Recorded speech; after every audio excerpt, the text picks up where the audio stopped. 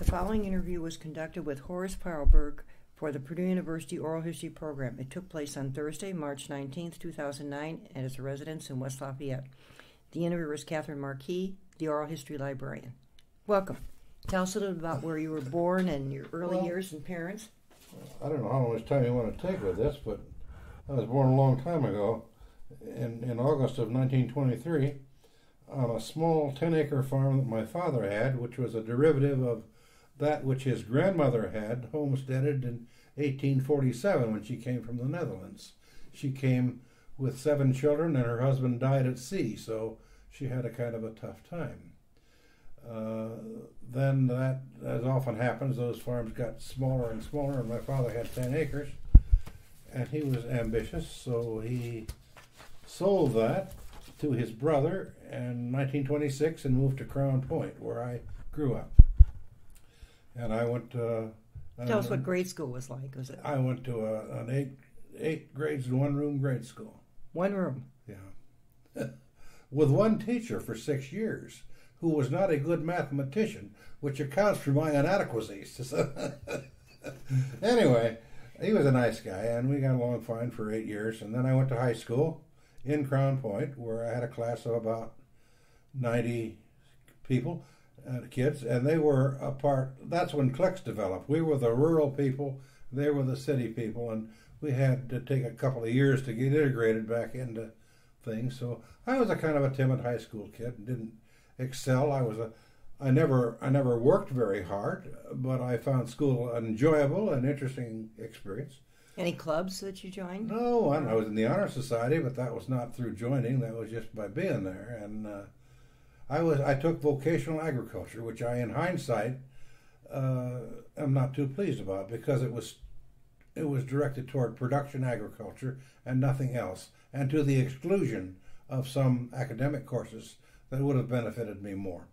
But that's all water under the bridge. And so I um, uh, got out of high school in 1941 and uh, began work working on my father, who had a kind of a, a historical attitude of how families ought to be raised, and he thought you'd work for the dad until you were 21 and maybe longer if he thought so. And uh, my older brothers, in fact, did do that. But Were I the? Are you the youngest? I am the youngest of four. Yes, and uh, I have. Uh, I'm the survivor of the generation now. Um, but uh, I worked there at on the home farm, and the war came, and I was deferred as an agriculturally essential worker, and, and I was because we had a, hired a lot of labor, and we had Mexicans, and we had uh, Eastern European women out of Chicago, and we had. Um, uh, neighbor kids and all that kind of stuff. So it was a wonderful, enhancing experience for me. I learned a lot of sociology just just hoeing weeds, you know, and, and that was uh, beneficial, I think. And uh, but I had about enough of that. All my friends were in service, and I felt like I was a do nothing guy.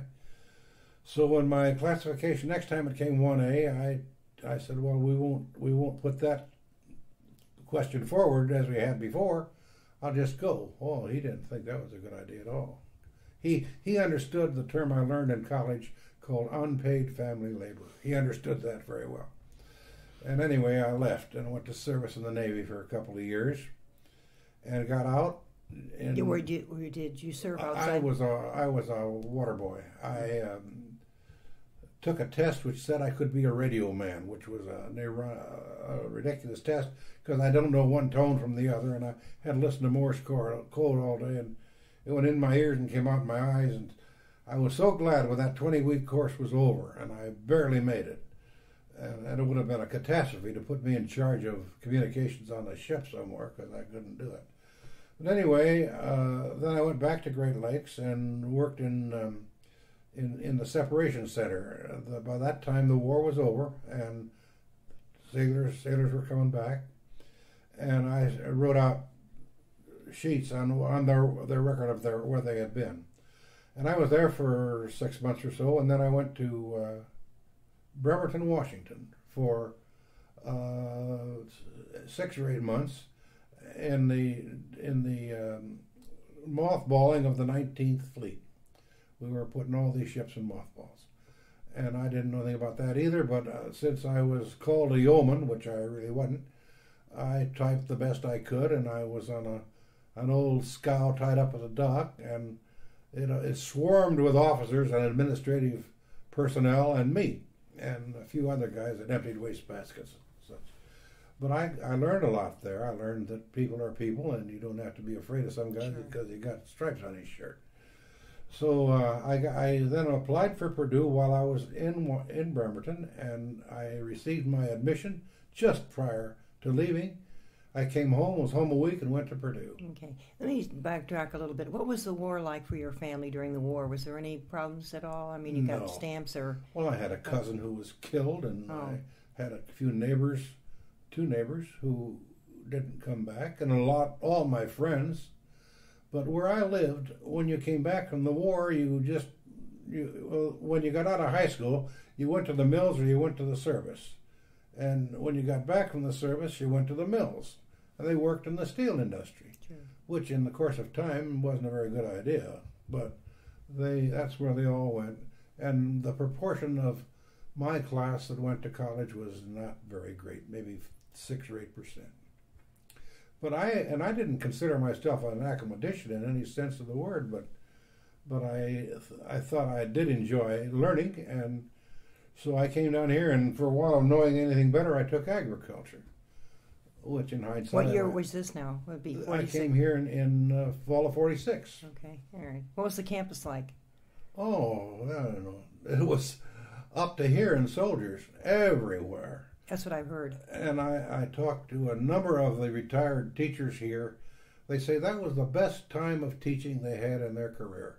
These guys wanted to get in and learn and get out, And move on. move on. They, they were already behind and they Right. didn't want to waste any more time.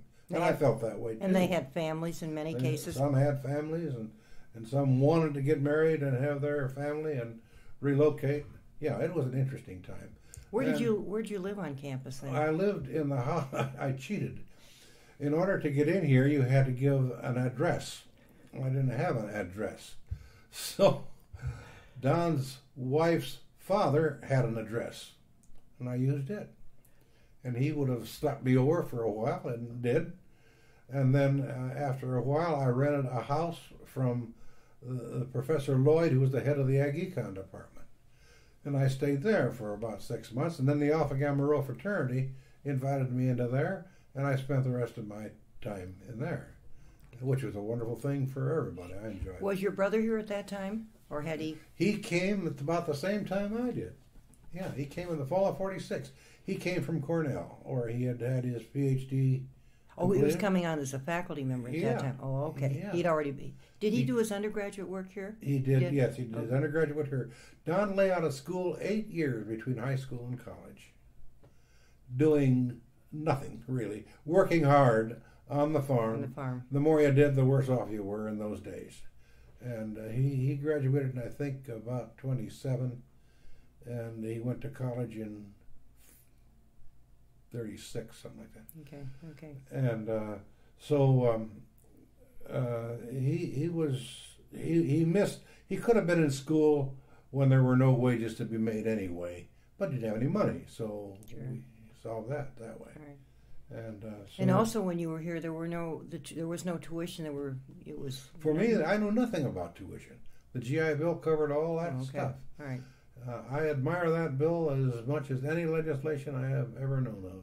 That and the land grant college Right. bill. Right. Those two things were the best legislation. Where were your classes held? Because the Krannert School was not built at that time. No. Were they uh, Oh, they were around. different? Whatever the buildings. Quonset huts, some, Okay. and um, and uh, we had classes in Ag Hall, what was then became the entomology building, and uh, well, where else they were? Maybe something in University Hall might have been. Yeah, I had a few in there. Cleveland Hall, the old one, was still around. Yeah, yeah, uh, and chemistry building. You go to chemistry, and and uh, it was, the classes were adequate. Univer- there used to be an education building somewhere there. And, Right. Over, it's actually where the liberal, art- where the Beering building is now. Yeah, yeah, Right. yeah, and that was uh, And you had the Popular. train that went through the campus for the coal. Yeah, I don't remember much about that, but I know it did. Sure. And uh, I know the smokestack was a landmark, and I admired that. I thought it was great. Pity to see it leave, but that's progress. and uh, no, I had a good time in college, and I went. I worked my last. I worked. I got through school in three and a half years by going to a summer school, and then I worked for the university the two, two other summers that I was here. I took records for Purdue out over the state for the economics department, and uh, very interesting work. And I learned a lot about self initiative and so on. You had to go see these people and and stay as long as it took. And uh, you, were you gathering data from them? Gathering data on hog marketing, but the one I enjoyed mostly was the study of the Professor Lloyd, for whom I had with whom I had roomed. Uh, had the he was more of a sociologist than an economist, and he had the view that keeping the farm in the family was a sacred thing to do. Well, I interviewed farms that had been in the family a hundred years, and then I talked to these people and said, "Well, how was it you're able to do this wonderful thing all this time?" All this time, and they looked down their nose and said, "It isn't as wonderful as you think it is." And that was the sum and substance of the interviews, all of them almost. Hmm. Usually, there was some guy that got he had four or five brothers and sisters, and they left uh, seek fortunes otherwise. And he stayed there with mom and dad and didn't get married because there wasn't any room for that. And and after he got to be 60 years old, Dad finally let him decide a thing or two. And he made improvements on the farm at his own expense. And then when when he uh, when his parents died, he had to buy from the others not only the original farm but the improvements he had made at his own expense. He was not a happy man. So there's some pros and cons to that sure, stuff. I understand. Right. Well, I did that in the summers, and then I, when I got out of school, I worked. What uh, year did you receive your degree? I got out in, in January of '50, oh. and I went right to work at Farm Craft Service Incorporated, a little farm management, appraisal, farm appraisal, farm realty company up here at Oxford, 20 miles away. And I uh, uh went there in January of '50 roomed up there, and then my wife was still in school, so I commuted to see her frequently on, on Were you married at that time? No. Oh, okay. I got married in August after I'd been in January there. Then we both went together to Oxford, and I lived in a hovel, and I have since wondered about a lot of things. I have wondered what her parents thought of the first place they found their daughter. What What was it like? Was it, it a wasn't as big as this room. it had a bedroom, which you had to get in bed from the other room. You step right into it. And a bathroom, you could sit on the stool and wash your hands at the same time. And and everything was in fingertip reach. Yeah, it was convenient. but uh, we heated it with a with a kerosene stove. It was second floor. We went up on the fire escape and came down on the fire escape. Outside. Outside. And that was where we lived for a year and a half. Pretty and her, her parents came to visit us there, and I always wondered what they thought about this.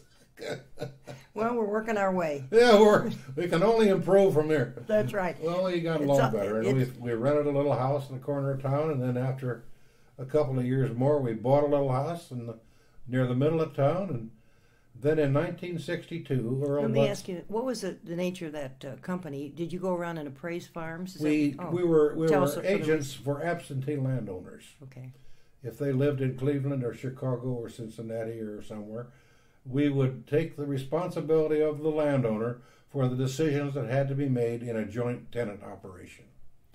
That was long before the uh, era of cash rents. Now we have cash rents, which are simpler by far.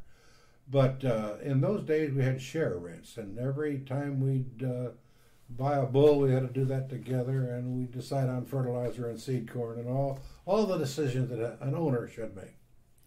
And we would, I had about 25 farms, something like that. Plenty to keep. Yeah, all within that surrounding area? All, with, all within uh, 50 miles, I would say. Yeah. Okay. And I had them kind of clustered at Rensselaer and, and Monticello and so on. And uh, then in, in August, I got married and and we lived there. We'd go west to buy cattle, feeder cattle. Uh, each fall, and I enjoyed that immensely. And uh, I go to the professional meetings that were held, uh, every year in Chicago in November, and then every summer somewhere in the United States. The American Society sponsored these, and I would load up the family of four kids, and we would take a trip to wherever it was, Oregon or or Florida or I forgot wherever we went. Went to close places like Ohio sometimes, but uh, we traveled extensively, and I was so glad. And I thought maybe the kids were just bored on this riding along in a hot, air, non-air conditioned car over the west, and it's hundred degrees. And but once in a while they'll still say, "Do you remember?" They were that high, and they remember. Oh yeah, you do. Yeah, I you do. remember things. You do. Yeah. More than you know. That's right. Uh, anyway, Because it isn't discussed for a long time, then all of a sudden it, It time pops gets up. appropriate. It does. That's right. Oh yeah, I remember that. I didn't get that when I wanted for Christmas. Yeah, yeah. So that's what we did in summers, and my wife did not work. She uh, was active in.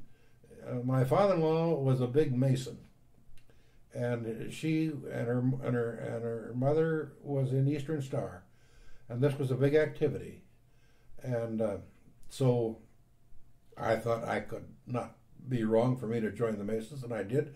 It was a little bit contradictory to my heritage because the Dutch people believed in the Christian Reformed Church, which didn't think secret societies had any place in the world.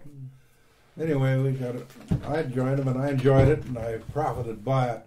I learned a little discipline of remembering how to do ceremonies and so on. And my wife enjoyed the Eastern Star immensely, and uh, we did that all the time. We were in Oxford, and I went. Did you keep in touch with your brother at that time? Because was he at Purdue? Yeah, he Oh. was at Purdue, Okay. and I would come down here frequently. Hmm And then in '52, when we were still in Oxford, uh, he called me one day and said, "Stop in on your way by on Christmas or something."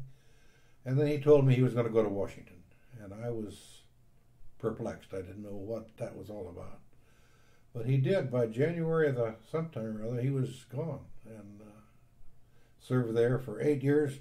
In that, in Eisenhower's first, in Eisenhower's term, and then he went back eight years after Kennedy and Johnson, and served in Nixon's eight years.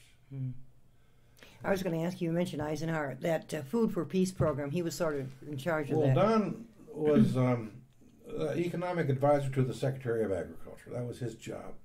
Then the Public Law 480 came up, a, a law in which this country, having a surplus and wanting any way we could ri- get rid of it, uh, we agreed to to sell that to countries in, in need of food for their money, not ours. They would leave it in their country, and we would spend it uh, to some degree in our interest, but mostly in theirs, in their country. Sure.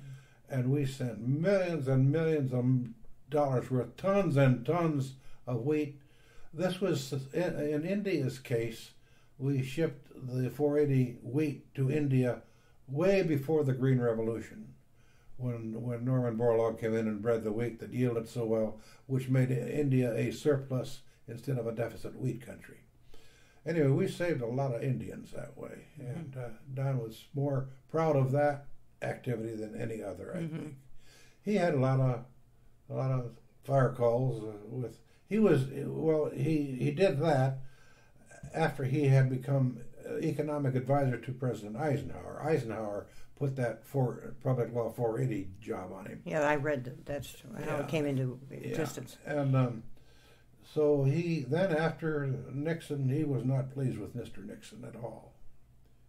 And I saw what you read. uh, You said talked to Earl Butz, and he said he worked for Nixon and with Ford.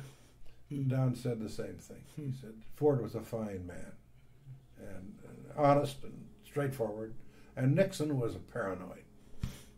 He knew Very, everybody very hated him, and he was right. everybody did hate him. Anyway, um, Don was glad then to come back to Purdue, and I guess by that time he was near retirement. No, he taught for a while after Uh huh. after he was here a little bit. Yeah. And he never did quit teaching. He loved to teach, and he took on special assignments and traveled a good bit uh, for other assignments. I don't know just what, but he went to Brazil for Purdue a time or two, and so that was the That worked route. out. then tell us about how you came to Purdue. Then, uh, Well, University- that's an interesting Yeah. story. I was managing these farms. I'd done it for a dozen years, and the dog got old, and the kids grew up, and and uh, I said, no well, cats, just a dog. no. Where? They they wander in, you know. I've got two of them. well, I was talking those on the farms that I had. That dog that was a puppy when I came was now dying of old age, and I began to wonder where this was taking me over time. So one day, when after Earl Butz came back here and was dean, I went into his office just unsolicited and said, if the job of working at managing Purdue Farms ever comes up, put me on the list of interested people, and I walked on, on my way. And a year or so later, he called and said, We have an opportunity here on the animal sciences farms at Purdue, which was not my kind of work. I had done farm management, but I had not done foremanship, which is an entirely different game. But I came here and I took on all of the lands. All of the new city out here was in the Purdue farm system. All- all- well, This where we area are now. here? I used to grow corn right here. yeah, in '62 and '3, we grew corn over all this stuff here, and. Um, That was all Purdue Farms. all Purdue farms. And we had an agreement with the city that we would gracefully retreat and buy land somewhere else. So after we I had been here for three years, we hadn't found any other land, but we were still farming all this for the Purdue Research Foundation and Purdue University, these two entities. And then I uh, began to think I better be looking. So I looked and looked and looked and talked to people within a reasonable distance here and uh, worked closely with the Purdue Research Foundation, Win Hinchell, one of the nicest men I ever knew. That's what I've heard. A great guy. Anyway, Win fumbled around and we called on different people and and uh, we found some land just north of town, adjacent to the agronomy farm, contiguous to the agronomy farm, which made sense to me. And um, we got I, don't know how many acres, fifteen hundred acres out there, something like that, in different tracks, And um, we were slow, and we got the old Calvert farm, which had been the farm of Henry Marshall when he was in his glory uh, section, six hundred and forty acres, and we got uh, the farm of from uh, a, a um, uh, a Vanata relative who had inherited it from the Vanata uh, business through his wife, and uh, so we got farms there. We part of it went to agronomy, most of it went to the animal sciences farms. We got out of here pretty pretty good, and uh, transferred. You had what you, what's now University Farms. That was also part of that, which is just around close. yeah, Yeah. I have, we used to have the dairy farm, and I got all kind of racket from people about the smell of the silage and the manure and and all that stuff, and we put up with that. But as soon as we could get away, we did. Sure, right. And, uh, If you went out Cherry Lane, that's what that. that was where that was. Sure, I remember. Yeah, where that. Bill Daniels Golf Course is. Right. Beautiful barns, ridiculous. I did have some trouble finding my way. Well, after I'd been here uh, three years on the animal sciences farms, then the director of the regional farms retired, and What, Earl. what, would, what would be considered the regional farms? Well, that would be all over the state of Indiana. oh, okay. They were nine. But they're owned by Purdue. yes, Okay. and I'm they're thinking of researchers that say regional. What do you mean by that? regional research, which is well as the as the soils and climate vary within the state, there are certain different demands on on agronomic crops, different insect uh, situations, different soil conditions, and so um, we have these regional research farms where a a researcher who lives at Purdue or works and teaches perhaps, but does some hands-on research, would have a technician. And he and the technician would outline the research that was to be done, and then the staff at these regional farms, who were my responsibility, we would do all the preparatory work, all the non-scientific work that went to support that activity, and uh, and we kept. Did you hire the people that worked on the regional farms Yeah, too? yeah, They all reported to you. yeah. Well, they reported to their superintendent, Okay. who reported to me. Okay. I had nine good guys out there, just great fellows. I inherited most of them. but I had to replace a few through retirement. But uh, I'm just very fortunate, and I've had my successors express the same opinion that we got a good group of guys out there. We really are kind of a mission-oriented place out there. We are Purdue in that neighborhood, and we need to act like it. And so, the extension service, I did do a thing I thought significant. That, well, when I began, I would have to say I was embarrassed uh, at the status of those farms. They had been the child of the Dean Reed, and he had been the farm director before he was dean. He was a horticulturalist. And I don't know, didn't know Dean Reed very well. I have never heard anything uncomplimentary about him, but he didn't know much about, it didn't seem to me about agronomy, animal sciences, or human nature. I don't think he really ran those farms the way he wanted them run, which was an adequate way. Uh, uh, for instance, at the farm at Bedford, we had, I think, six or seven houses on it, and there wasn't a bathroom in a one of them. This was 1965. That was humiliating. Well, because we had, I, I had a good, some good deans who helped me get away with it, and because we did a lot of our own work, our superintendents put in the bathrooms, or demolished the house when we built a house, and we got those farms up to speed, and I feel great Yeah, about that. right. Were many of, excuse me, many of the farms were they given to the university? Many were given to us, yes. as part of a, a trust or land. Many were given to us. We got some on an, on an annuity basis. That is to say that old Mrs. Jones was 80 years old and and had the farm from her father, and she had no children. Her father said never get rid of the farm, but she knew it when she died it would happen. So she gave it to Purdue under the assurance that we would set a value on it and pay her an interest rate on that value as long as she lived. It was a great comfort to that, those people. I would and think we so. got a good farm out of it. Sure. That's right. And then you would take care, you would farm it while she's around. and Yes, while she was living, well, we'd farm it. Uh, in some instances, though, we uh, eventually, mo- like most, Purdue is like any other big organization. They would rather manage paper than property. And so, if, if it was possible to sell a farm, we would usually Sure. sell it to the neighborhood. And besides, the neighborhood didn't like Purdue University, their neighbor. They wanted them their neighbor, but they didn't. Li- they suspected that we didn't pay taxes. We always did on those kinds of farms, Sure. but they always were a little suspicious. Mhm. So we, I, I really had a wonderful experience. I can't imagine anybody having a, a better experience. I, I was at the right place at the right time. I retired at the right time. When did you retire? I retired in, in the last day of 1989, just ahead of the flow of the new information systems. Well, did, did you have to, was, was it 65? Did you have to retire at 65? I guess you had to, but I was ready to run oh, okay. because this new technology was overwhelming me. I could keep up. I had a wonderful way to keep up in those days.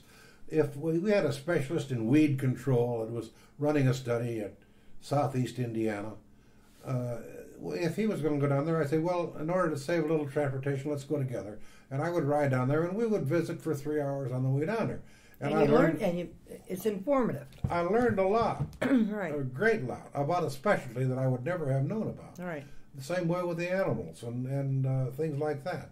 So I had a wonderful opportunity to keep abreast of those things, but I didn't have any way of keeping abreast of modern technology. Yeah. At a southern Indiana farm, we had electric wires for telephones running from a bush to a shrub, and sometimes we didn't speak to them for days. That was not good. What about the vet, the veterinary farms? Were that under your supervision? That was not under my control. We had, in addition to the farms that I directed, the uh, regional farms, the agronomy farm was administered by the agronomy department. The veterinary science was administered by the veterinary science department. Those were specialties farms, and uh, I did provide the uh, succeeding agronomist, uh, the the superintendent of the agronomy farm, was my old employee. we did do some of that. We are a little inbred, but not bad. That's all right. And the guy out, out there now, the guy that I hired, to, and we went out there, uh, he's raised three superintendents of other farms, and he's by his own training, and that's great. That's nice. That's Yeah, right. It yeah. really is good. And, and in-house promotion has some reward, some merit, and uh, right. we didn't hire some guy out of Tennessee or someplace. That's right. Exactly. Yeah. The homebred. It's really Yeah, good. yeah. Yeah. And then there's a lot of a lot of history that goes with these farms. They got to know who gave them to us and why and what for, and and You need all the documentation. yeah, That's right. sure, Exactly. sure. But PRF did all that administrative work for me, or I did all the all the uh, personnel and and uh, for instance, we had. Oh, I'll give you an example of Hentschel. What kind of a guy this is? He's deceased now, is he not? He what? he's passed away. He's not alive. No, he? he's no longer alive. They've named a street or two over here. Right, when up there in the research park. Yeah, and um, but when he was a simple kind of a fellow, sincere, not overbearing, but just a congenial kind of a simple fellow. He'd stumble over the threshold and went in the door, you know, kind of awkward, and, and people just naturally believed him. Well, we had gotten a farm from Vern Freeman, Dean Freeman, down by Rushville. I remember the acreage, but it was rather substantial acreage. And we had had it appraised. We told Vern we were going to try to turn it into money, which he understood. I guess it was really his wife's farm, Phyllis. But anyway, it was okay with Vern. So we were going to sell it. So we got it in. We we uh, had it appraised at twenty five hundred dollars an acre, and we sold it for that. And the guy who bought it got along a year or so, and then he then the the terrible eighties came, when interest rates went from from five percent to seventeen percent, and he had had to borrow money to get that farm, so he borrowed at five and was now paying seventeen, and he couldn't make payments. And we visited with him unendingly. We would meet him in Indianapolis, discuss well, how are we going to do this and so on. So finally, Wayne said, "Well, how are we going to do this on the way home?" I said, "Well, I don't know. The only thing I know, if you foreclose and you want to resell it, you're going to get fifteen hundred dollars, not twenty five hundred dollars." Well, he said, "Well, it'd be wrong with just marking it down on that guy from twenty five to fifteen and not going through all that reselling it." So he marked it down. I don't think anybody's ever done that before. Hmm. If the banks had done that in this present situation, we wouldn't be in this suit. Right, yeah, right, But Win understood that. right. And that was a humanitarian and a good business thing to do. Sure, right. Yeah. Both of you thought it through, and this seemed to be the right thing to do. It did. Yeah, and yeah. it was appreciated. Right, And the man was able to pay for it after that because he rego- renegotiated his loan, interest rates came down, he could go. right, yeah. What about um, when you were? Tell us about some of your retirement activities. What did you do after you retired? Then did you do any traveling? Oh, yes. I, I My wife looked forward to my retirement for quite a long time. Sure. I was pretty unreliable as a husband. She raised the kids, and I brought the bacon home. And I was, for instance, if you're in southern Indiana at eight or nine o'clock at night, you don't get home very early. So I, three or four hours home, and and uh, she suffered that admirably. She was active in the school activities and and the sororities and uh, those, and she worked at the Tippecanoe County Historical Association as a volunteer for years, and then finally as an employee. She ran the genealogy stuff There. Oh, nice. That's good. and she enjoyed that. Sure. Did a good job of it. Right. And uh, anyway, when then when I retired, she she retired, and we traveled extensively. We had a daughter who got married and moved to San Diego, and we would go to see her in the wintertime rather frequently, and I enjoyed that immensely. Beautiful place to go, I've heard. Yeah. and uh, Weather's nice. weather is wonderful, and we uh, traveled on the train a couple times, which was an experience that's worth remembering, but not to do again. I think. and uh, I have a son in Tallahassee, Florida, and he uh, we went there, there sometimes in the cool weather, uh, but um, he is in charge of an historic property in the middle of Tallahassee which was once a plantation and has an 1840 antebellum house on it that they inherited uh, in an annuity trust, and uh, the man died. He'd let it go into bad repair, and then they hired Larry to manage this 20 acres in the middle of town. I haven't.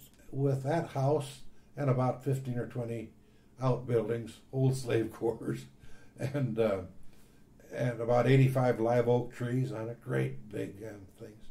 He's done that now for 15 or more than 15 years. He's Does he? He does. Does he live there? Yeah. Oh, he lives in Not that not in that house. Oh, No, he lives in Tallahassee, but he uh, and he then he, he's the job has evolved. He began it was just mostly uh, superintending physical repair. He and, and he was a he is training in historic preservation. That's how he got the job. So he was a little old lady about how it ought to be done, and he'd get people of considerable skill and great cost to do it like it ought to be done. And he did that for a while, and then it began to move along, and he renovated some of the outbuildings to where they could serve some public benefit, and then he began to have programs there. And this last year, he's been he has solicited. Well, he he he raided the annuity account to build a, an auditorium building, which will hold a couple hundred people or three maybe, and uh, he charges admission for activities there. He's and he didn't therefore didn't ride down the decline in stock values, and he's able to charge admission. So he thinks he did a pretty good thing, and he's he's been at that uh, all these years, and he enjoys it immensely. He would like to come back to Indiana. My wife is from uh, a first family who came to Clinton County, Indiana in 1834. And uh, they lived in this community southeast of Frankfort and built a house in 1880, a great big thing that is no longer needed, never was really. And uh, so Larry thinks that is Mecca. He thinks that house is. He wants to keep that house. Well, he just doesn't under. There's a lot of difference between an income property and and a historic property. This is not an income property in any sense of the word either. I have real trouble renting it, and I get renters who are irresponsible. Yeah, it's hard. Yeah. What the house that's in the center of Tallahassee? What do they use it for? I mean, do people have events social there? events Okay. uh, and, and rather prestigious ones. And then he's right there in the state capitol, and the politicians use his facilities. Oh, I too. bet. Yeah, that's that's great. It's nice to have a little thing like that. Yeah, and then they do a lot of work with the school kids. Sure. and uh, Florida State has some activities there, and he's very, very busy. yeah. Do you have any other children, or just the? I two? have two others. And Phil, where- who is uh, on the ag economic staff here, teaches uh, foreign trade and uh, I guess foreign policy right now, and he does research work. He has a summer employment, and I have an itchy eye here. He You has a summer employment. Yeah, maybe I'll. Okay. Sorry. in uh, Colorado, in Fort Collins, Colorado. He works for APHIS, that is the Animal Plant Health Inspection Service, and they are over there in in in, uh, Col- in Fort Collins. They are contemplating catastrophes in diseases. If a, an anthrax uh, disease would hit South Bend, Indiana, in hogs, how big a ring would you have to draw around it and, and, and, and dispose of all the animals in that ring in order to intercept that. And that's what he's working on. He does computer stuff. Simulations. formulas. Yeah. Right. uh-huh. Everybody does that, I guess. Right. Well, anyway, that's what he's doing. He goes out there to work with other people from from USDA on that subject. And uh, he has two children. One is a, a, uh recently graduated with a master's degree, not two or three years ago, graduated with a master's degree here in industrial engineering. She's in California and working at a good job uh, north of San Francisco and, and providing enough income for her husband who is in seminary. you know the system. So if she can keep that going long enough to get him a and I don't know what's going to happen when he graduates. He has to go somewhere else. If she loses that job, that's going to be tough. Yeah. So we'll cross that bridge when they get to it. And the other daughter of, of Phil is was a graduate of food sciences here. and uh, very proud of that program because that was initiated by a dean of agriculture that I, and I know it was not a popular decision, but he instituted a food science department, and that has grown, and it's now one of the best in the nation. Right. Yeah. And uh, so that's done. Anyway, she went there, and she went to work for the Red Gold Company that makes tomato stuff. It's Indiana company. Indiana company, Right. and she likes her work. I thought they would give her a white coat and a microscope or something, but they didn't. They put her in charge of food of quality control on that bunch of tomatoes going down the line there. She's supposed to do that. Does she like likes it? it. Yeah. Yeah. that's good. That's Yeah. nice. And then I have another son. That's this guy back there. Okay. He's got th- three children, and he buys corn for the National Starch Company in Indianapolis. They process corn into various kinds of starches, much like they do over here or at, the, the Tate and Lyle. at Tate and Lyle. Yeah, Right. uh, they're competitive. Uh, but anyway, they do more different corns than Tate and Lyle does. They have some exotic corns because starches are a lot of chemistry and some some glue for this and paste for that and and food ingredient here and all these Sure. different things. Right. So he has to watch the. He regulates the inflow of corn. He buys it, and then tells the uh, the farmers when to bring it. And he's at the telephone all day, every day. Sure. Did he go to Purdue as well? He's a graduate ag economics. yeah. Okay. All I, I did this. Even this kid that's in Florida doing history work went to Purdue University. I guess it never occurred to me you could go anywhere else. It just never seemed logical. Anyway, he went here to history. Both both he and Phil, who was in ag economics, took history. Not a big subject at Purdue in those days, but they were both very satisfied with the teaching they got. They got And they full liked the professors. program. Yeah. Yeah, probably, full yeah. professors and, Sure. and knowledgeable people, and uh, it wasn't an overwhelming school where you had a class of three hundred, you know. So they were happy. Got a little personal touch. Yeah. Yeah, that's Yeah. right.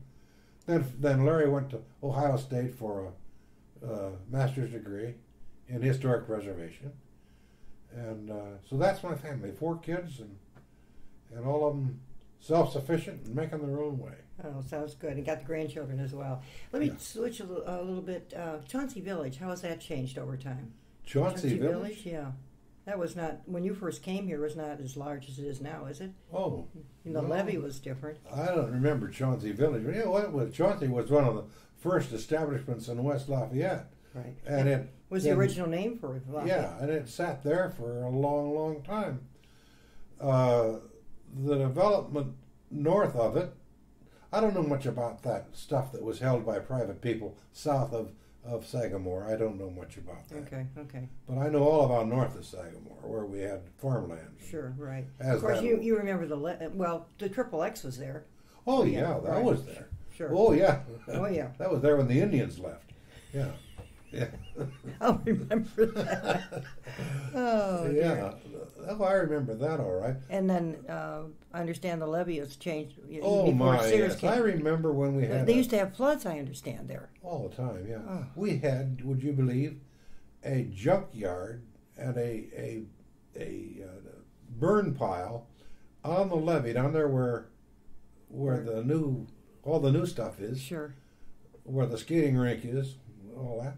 They burn stuff there almost every day and all day, and it smelled terrible and smoke curled up and Where'd they get the stuff from? Where were they oh, putting? junk in town, leaves and branches. People bring stuff and whatever? Yeah, whatever. Like a bonfire, right? It was a disposable place, right on the levee.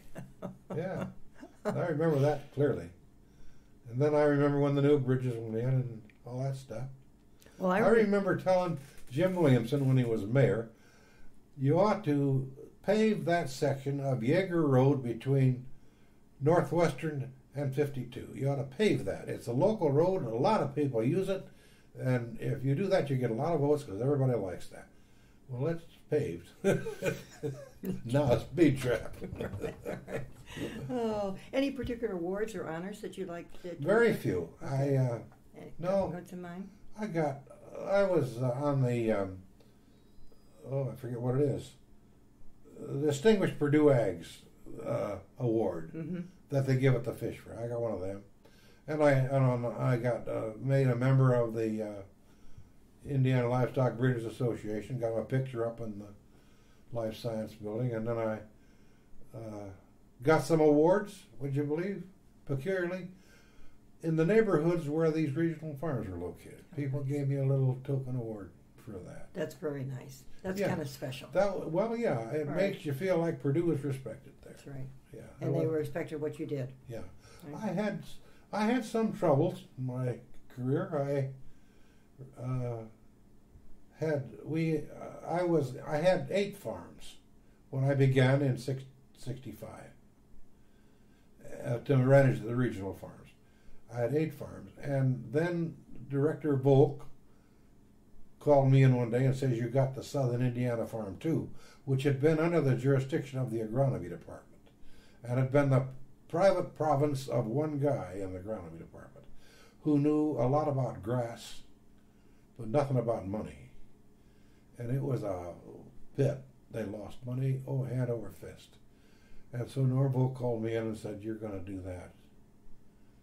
And I had blinked and said, Well, okay, I guess it pays all the same. I'll go do it. But he was then he was still the agronomist involved, and and he and he was technically subordinate to me financially, but he was still running the program down there, and we had a lot of this. And he humiliated me a number of times by saying, "Why didn't I do thus or so?" Well, the reason was we didn't have any money. so that was a that was a strenuous time. Yeah. You have to work through some things sometimes. You gotta work through things. That's right. But sometimes it all works out. Given time, things come together. That's right. Yeah. Yeah. Yeah. How about a um, favorite Purdue? Got a tradition of Purdue that, that comes to mind? Fish fry, yes. Okay. You still go to that? Oh yeah, I was involved. Well, that's you make a comment. That has changed over time. that has evolved. That has uh, progressed. It's evolved into a higher, higher type of civilization. And it's also not on campus anymore. No longer on campus. Right. Yes. And then they went to the pork. we went to the pork. This year we had both, which is not important. People don't. I don't at least go there to eat. I go there to see what's going to happen Right. Yeah. and to see who gets awards and. And and to network and to people that you've known over the years. Oh, it's a reunion of people, yeah. Oh, yeah. It's a little. I think back. uh, Purdue is a.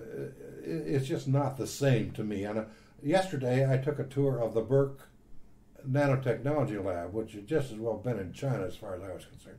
I didn't understand it at all, but we had a brilliant young lady who explained it well, and if she doesn't give a test on it, I'm all right. anyway, uh, it's not that not like I knew it. Uh, the thing I was just getting around to talking about was our annual Christmas party. Our annual Christmas party was held in uh, I don't know where it was. Must have been in Loeb Theater after a while, maybe in Fowler Hall for a while. Anyway, uh, we uh, it was a it was, finally we didn't do it anymore. It was a kind of an insult to the non to the non long termers. It was a it was a reunion, a celebration of the old timers. We all got the joke, but the new clerical staff didn't know what that was all about, so they weren't much thrilled about it, and it kind of tailed off. But Maury Williamson ran it. Or have you interviewed him? Yes, I have. Yeah. How long did that take? Uh, we we we try to limit it to a little over an hour. I mean, that seems. You got more Maury shut off in an hour. That's amazing. yeah, it worked out very well. We did for his. I did a video though, so I did more Okay. than yeah. It was Well, nice he to meet did him. a. He was in charge of that foolishness, and he did a wonderful job of it. Right. Entertained everybody, Sure. except those who were new to the staff. They didn't know that Earl Butz's um, uh, secretary was Kathleen Rice, so we made a joke about that, you know. And, and one time was a guy named Gustafson who looked uh, a great deal like Fred Hovde, almost uh, personification.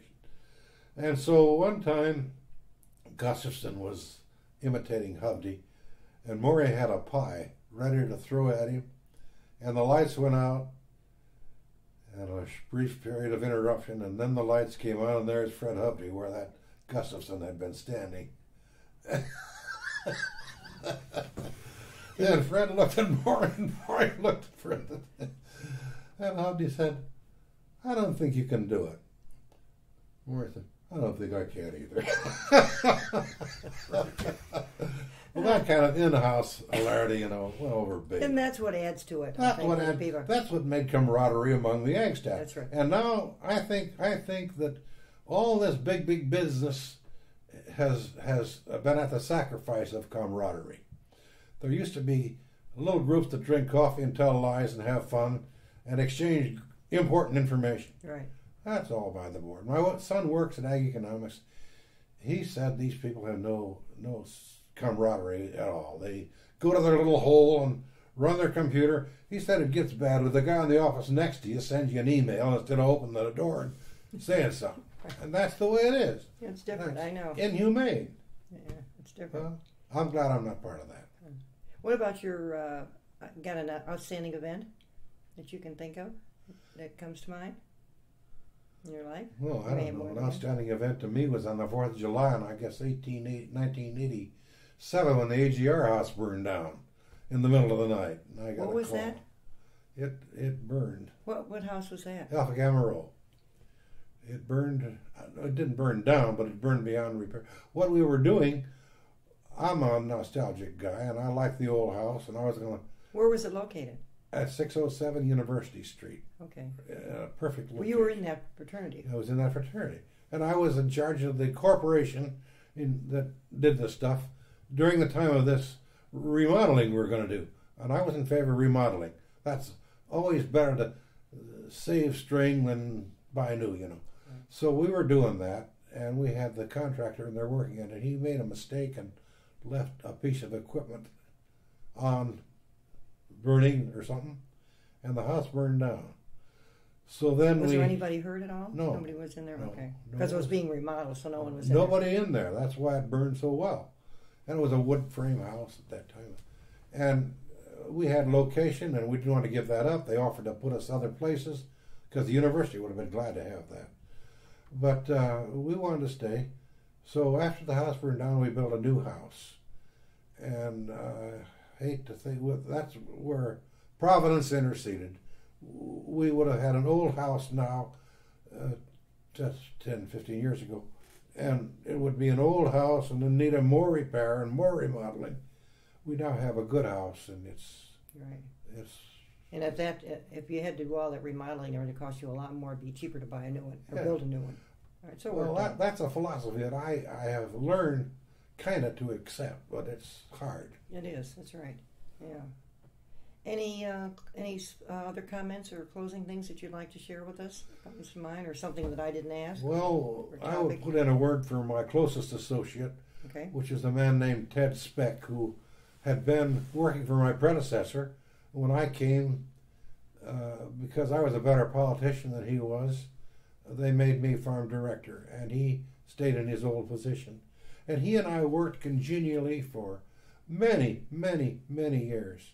And uh, with the sort of primitive stuff in a way, one telephone for two guys, and uh, no copy machine, and all, keeping books with a pencil, and all that kind of stuff. But it worked. But it worked, and and he and I worked cooperatively and congenially all those years. I don't remember of ever having had an argument with him. We debated some issues, uh, some silly things that here I did, but never had an argument. hmm He's And- now retired, also. Does he live in the community? He lives in Pine Village, where he lived all through the time. That was one reason he couldn't take the position. He also farmed about 500 acres on his spare time. He was a workaholic, and he still is. He worked for the university with equal diligence to his own. Right. Any particular hobbies that you uh, you, you, collect? Anything My special? My only sin is reading, and I do that That's very good. unendingly. Right. Yeah. Well, I want to thank you very much for this interview. Is that all you wanted to yes, know? It, eh, got anything special that you want to? No, I don't know of No, it really worked out very well. Thank you very Okay, much. good.